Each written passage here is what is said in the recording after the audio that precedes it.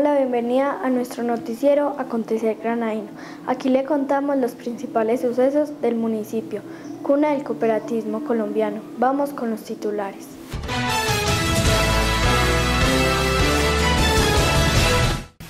Campesinos granadinos también se han visto afectados por el paro camionero. Presidentes de las 36 veredas que agremian ASO Comunal ya lideran en sus comunidades. Alcalde municipal y promotor de desarrollo rural hablan de la importancia del presupuesto participativo.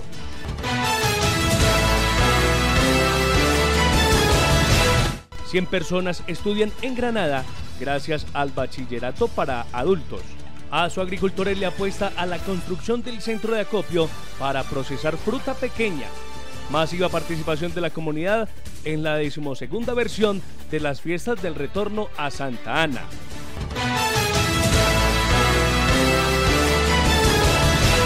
Aquí comienza su noticiero local Acontecer Granadino, la noticia con sentido social. Le seguimos contando lo que a usted le interesa saber sobre nuestro municipio. Los productores del municipio, especialmente los de Mora, han manifestado que a raíz del paro camionero han tenido pérdidas significativas.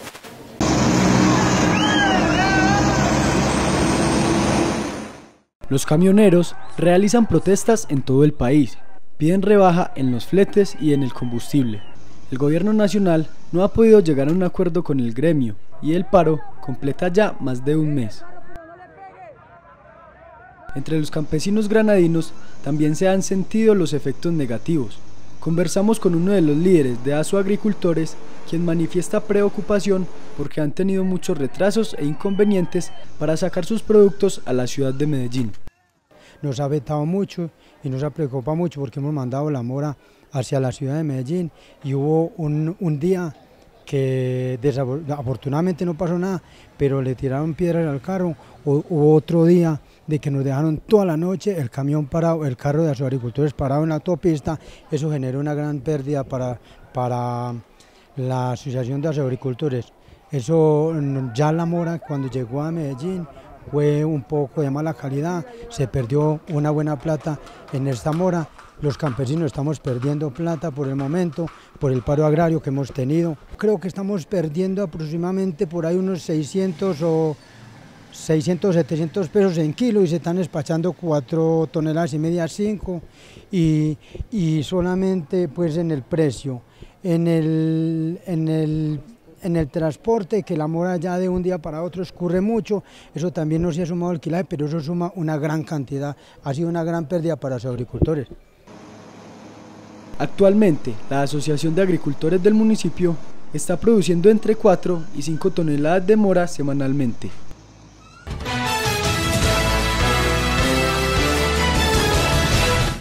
El sábado de julio se posesionaron los 36 presidentes de juntas de acción comunal que se encargarán de generar proyectos para sus comunidades. La ASO Comunal Granada posesionó este sábado 2 de julio a los 36 presidentes de juntas elegidos el pasado domingo 24 de abril para liderar el trabajo y la construcción de proyectos en sus comunidades desde este año. Pues la verdad es que se espera que mucha ser muy pujantes y ser de verdad activos en, los que, las cosas que nos, que todos los presidentes que quedamos otra vez reelegidos y nuevos, que seamos muy activos a las cosas de las juntas de acción comunal, trabajar con toda la comunidad. Los presidentes, el trabajo de ellos es un, trabajo muy, muy pesado, un trabajo que el municipio, la alcaldía, nosotros valoramos demasiado porque es un trabajo con, amor, con esperanza y para sacar adelante las juntas de acción comunal y sus veredas. El, caso de los presidentes en una junta es un trabajo que nosotros valoramos mucho porque ustedes bien saben que ejercer liderazgo es muy duro, más en las comunidades, tienen que estar sometidos a las críticas, a que hablen mal de ellos, pero afortunadamente todavía tenemos personas valientes en nuestras veredas y hay muchos que se le, apuntan a ese gran reto de liderar una comunidad. Seguimos apoyando fuertemente la Junta de Acción Comunal desde el Consejo porque nosotros lo que queremos es el empuje para el pueblo, que el pueblo salga para adelante y que de verdad no nos sintamos estancados en ningún momento por ningún motivo. Las juntas de acción comunal son los organismos encargados de representar a los campesinos de cada vereda ante la administración municipal. Con ellos obviamente va a ser como la línea directa que vamos a tener como administración, entonces será ese enlace entre comunidades y administración municipal. Es un papel fundamental porque las juntas de acción comunal se convierten en una alcaldía pequeñña donde llegan todos los proyectos y procesos de las juntas de acción comunal. Las expectativas que uno tiene con eso, por los proyectos, por, todo, por todos los proyectos que puede tener una junta de acción comunal, porque si no hay junta de acción comunal no hay nada. Y uno como presidente está es muy interesado y muy importante aportarle a las comunidades, sea en vereda o sea en la zona urbana, a trabajar como presidente de una junta de acción comunal, no por el bien de propio, sino por el bien para todos. El alcalde destacó el trabajo que realizan cada uno de los presidentes de junta en sus veredas y la importancia de su liderazgo. A ellos los admiro, porque es que uno estar sometido a la crítica y sin ninguna remuneración, porque ellos no ganan un, solo peso, estar dedicando tiempo, yendo a las reuniones, tienen que ser ellos quienes motiven a sus compañeros en la, en la vereda entonces, para mí son de admirarlos y, el cargo de presidente o de cualquier cargo de, junta directiva de una ASO comunal es de, merece todo nuestro reconocimiento y todo nuestro respeto. Dicha reunión sirvió además para organizar el Tribunal de Garantías que será el encargado de verificar la elección de la nueva mesa directiva de ASO Comunal a mediados del mes de julio.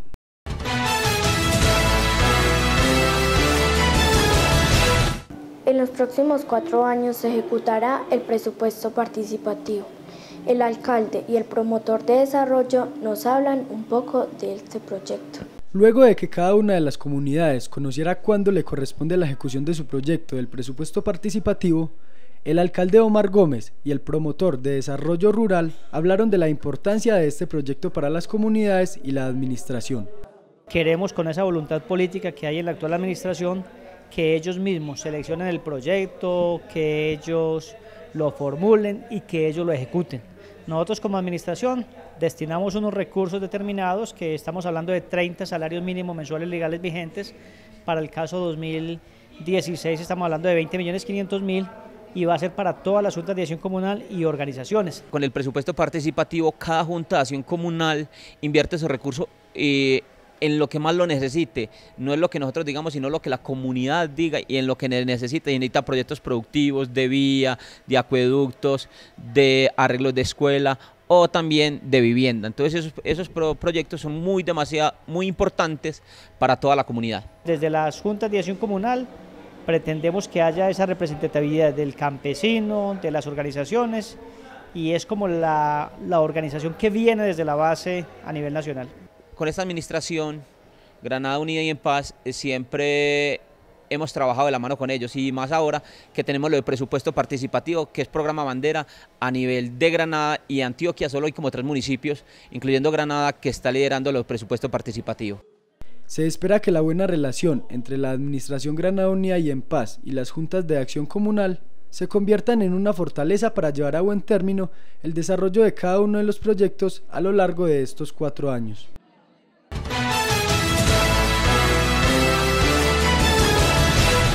Recuerde visitar www.desdegranada.co. Allí encontrarás estas y otras noticias.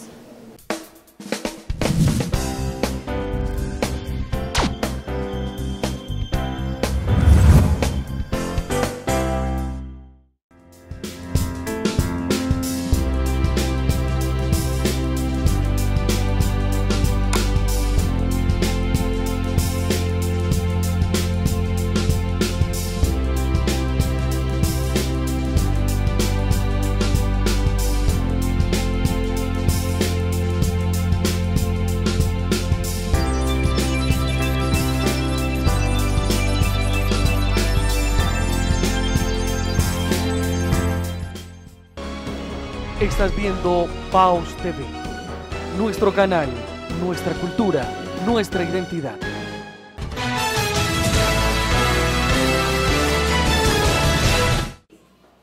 La discapacidad no está en las personas o en su cuerpo, está en la mente de muchas que dicen ser sanas.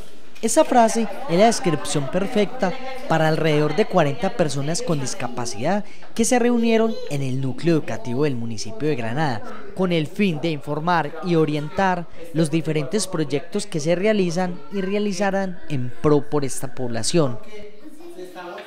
Primero se, se trató pues como una presentación de los asistentes, después se socializaron cada una de las actividades realizadas en el municipio a nivel educativo con la población con discapacidad, después como toda la incidencia social, lo que tiene que ver con política pública y lo que viene en este evento para el municipio con relación a esta temática. Hoy recibieron de primera mano la información y fue un grupo muy integral donde pudimos sentarnos y hablar proyectar actividades a futuro, a corto, mediano y largo plazo, eh, hablar de la sede que vamos a recibir pronto, que es una sede, es una casa de inclusión para las personas con discapacidad, pero además también esperamos recibir personas sin discapacidad, porque el objetivo de esta administración es hacer conciencia también, que las personas sin discapacidad eh, puedan tener conciencia del trato que debemos dar a los otros. Marta Hoyos, docente del municipio, lleva ya cerca de 18 años trabajando con la población con discapacidad. Es así como cada vez se viene fortaleciendo este tipo de población y ahora con los proyectos en colaboración de JICA, Agencia de Cooperación Internacional de Japón. En unos inicios empezamos trabajando con personas solamente visuales eh, hasta el 2006 desde el 2006 iniciamos el trabajo con toda la población con discapacidad y realizamos diferentes actividades. Nos reunimos dos veces al mes, eh, sábados y domingos, realizamos actividades de crecimiento personal, de autoestima, actividades lúdicas y recreativas, eh, actividades manuales, eh, también hacemos lo que es las actividades académicas como la lectura, la escritura, el trabajo en las matemáticas. Eh, hacemos talleres con padres de familia cada mes también, donde ellos se capacitan y adquieren conocimientos para el trato y el trabajo con las personas con discapacidad. Bueno, el día de hoy nos reunimos varias personas con discapacidad para organizar eh, el lanzamiento de la sede del municipio que se va a realizar para personas con discapacidad.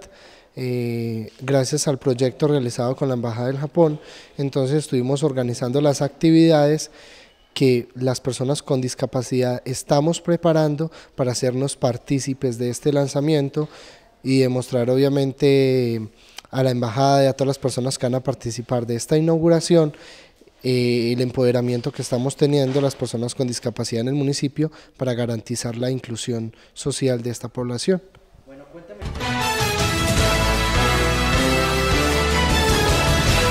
Desde el segundo semestre de 2016 arrancó el programa de bachillerato para adultos que se desarrolla con la Universidad Católica de Oriente.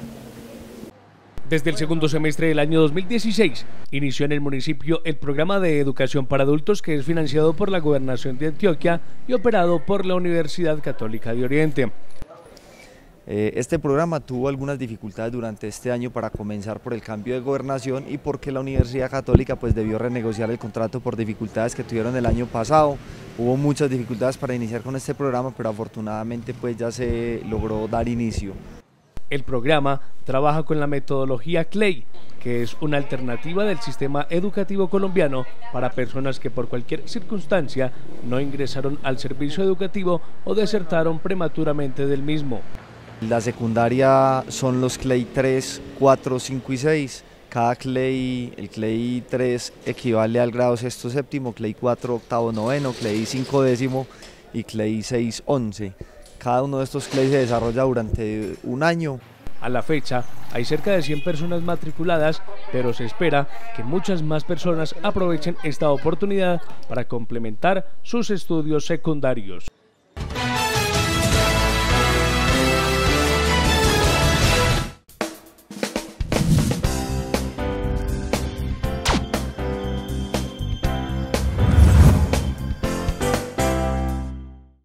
Centro de Acopio de Azuagricultores es una de las grandes apuestas de organización con la idea de procesar fruta pequeña en un futuro.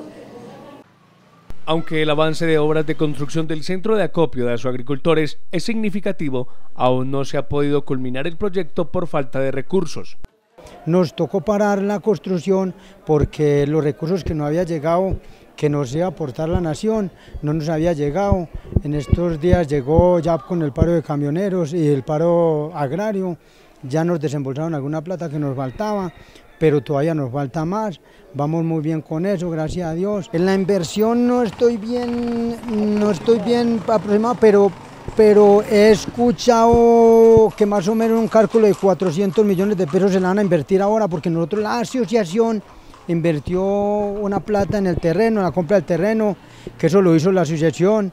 Luego... Mm, de la gobernación creo que fue, nos dieron 208 millones de pesos y la asociación ha puesto la otra plata y vamos a ver hasta dónde nos vamos para lograr terminar el centro de acopio porque todavía pues no, no está terminado. La gran apuesta que se tiene desde la asociación es a mediano plazo poder procesar la fruta pequeña, especialmente mora. Mientras tanto, viene trabajando fuerte en las buenas prácticas agrícolas con miras a darle un valor agregado a los diferentes productos pero esperamos pues que logremos terminar este centro de acopio, que es importantísimo para el municipio, para procesar la fruta pequeña. Sería pues transformación, una buena transformación del producto, que tengamos una mejor venta en el mercado. En este proyecto, ASO Agricultores ha recibido el apoyo económico de la Presidencia de la República, la Gobernación de Antioquia y también instituciones locales.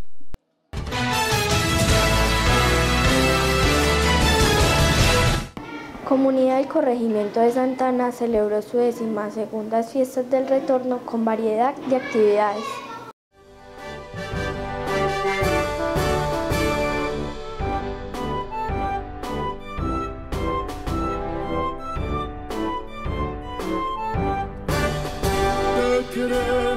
Amada Santana, bajo un cielo de límpido azul por las noches brillan las estrellas, donde prenden su iris la luz, donde prenden su iris la luz. Nuestros padres forjaron la idea de un pueblo sublime fundar, herencia dejar a sus hijos tierras buenas para cultivar, tierras buenas para cultivar. Esta patria pequeña que un día con mi mano y mi mente forjé, la dejé por motivos ajenos y hoy a ella feliz regresé. Regresé.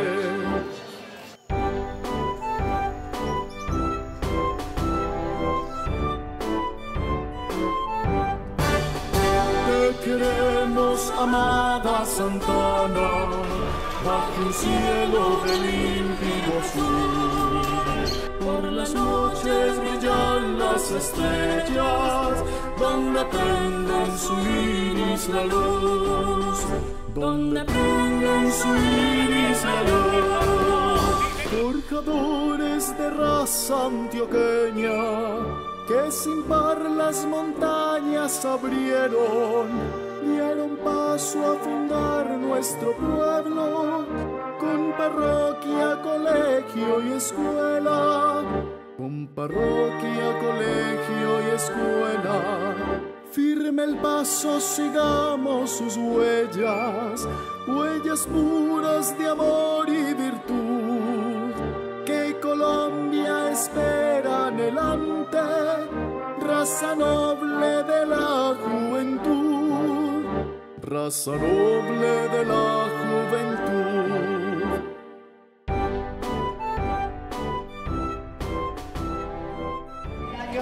1990, pero nunca, nunca jamás pensé que la escribía para mí.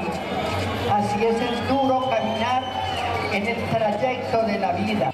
Ya son casi 100 años del corregimiento de Santa Ana y en el marco de la celebración de su patrona, Santa Ana, se celebra su retorno número 12 con actividades deportivas, artísticas y culturales que se implementó este año. Todas estas actividades bajo el liderazgo de la corporación Amigos por Santa Ana. Las actividades que realizamos en el marco de las fiestas de retorno de este año fue las cuartas microlimpiadas en el corregimiento de Santana, eh, que iniciaban en el 2013. Tuvimos eventos deportivos el día de ayer como ciclismo en dos categorías, baloncesto, voleibol mixto y también tuvimos la presencia del Club Deportivo de Minitejo del municipio de Granada. Y el día de hoy tuvimos las competencias de microfútbol masculino y femenino, en donde contamos con la participación de diferentes equipos provenientes de la ciudad de Medellín, de diferentes veredas del municipio. Eh, nos visitó también el equipo de microfútbol de Guarne. Todo esto es posible eh, gracias al proyecto de Deporte hacia la Paz que lidera el Club Deportivo Santana y que se realiza y se ejecuta eh, mediante la alianza de la Administración Municipal Granada Unida en Paz y la Cooperativa Co Granada. En baloncesto mixto tuvimos la participación de cuatro equipos, voleibol mixto cuatro equipos, en ciclismo que fue apoyado y coordinado por el Club Escuela de Ciclismo que también nos acompañó eh, y realizó estas actividades.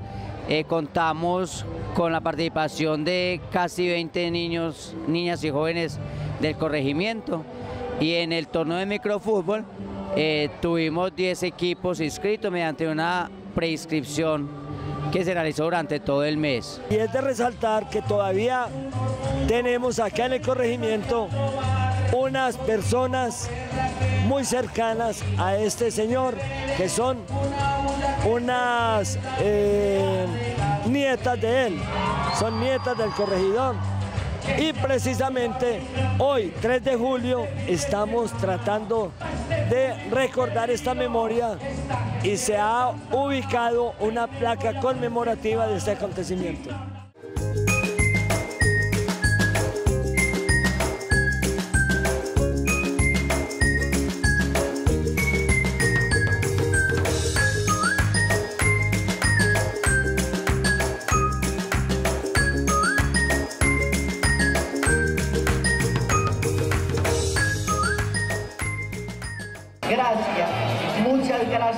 Este homenaje, porque en vida, hermanos, en vida, porque uno después de muerto a nadie ve, ni oye, ni entiende.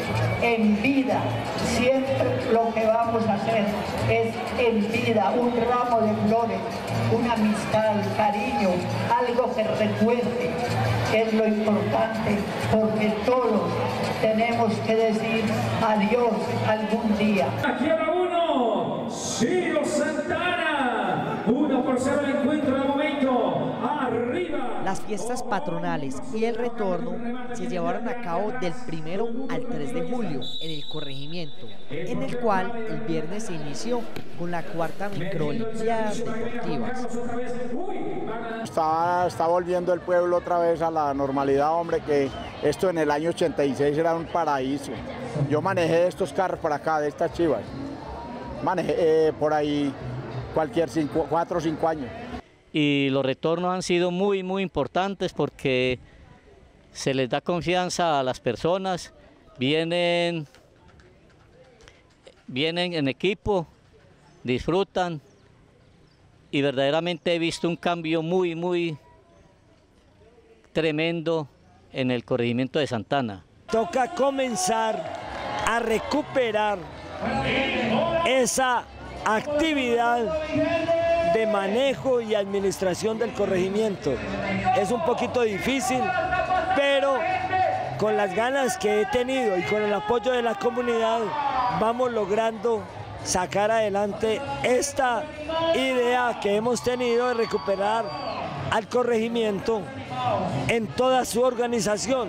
Son unos eventos que dinamizan la economía, eh, integran los paisanos, eh, apoyan al desarrollo, a la confianza de, la comunidad. Y Santana pues, ha parado mucho, hay mucho tiempo que ya paró, gracias a Dios, y aquí estamos. Esto era muy solo por aquí antes, ya eso gracias ha parado mucho. Y Dios quiera que la guerra se acabe, se va aplacando.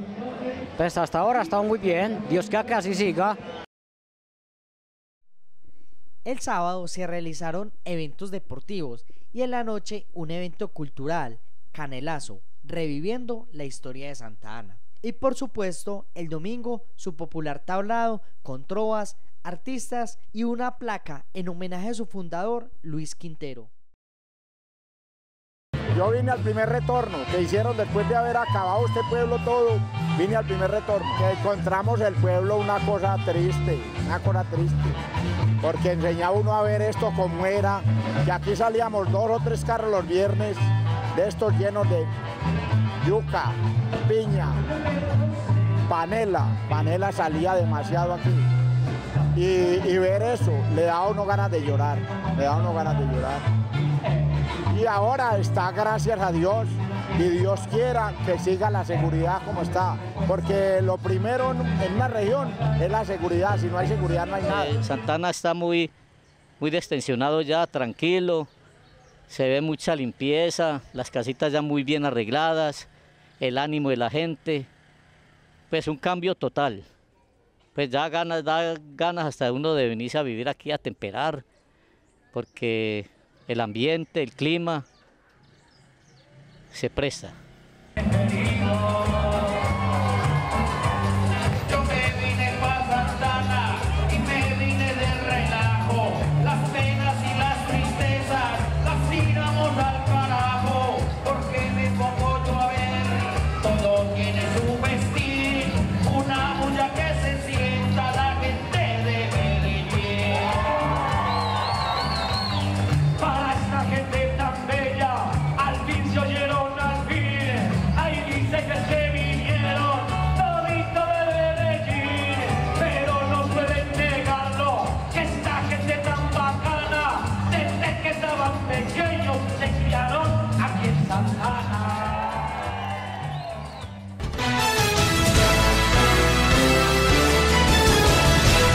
Hemos llegado al final. Invitamos a disfrutar de la programación de nuestro canal local Baos TV. Lo esperamos en una próxima emisión. Hasta entonces.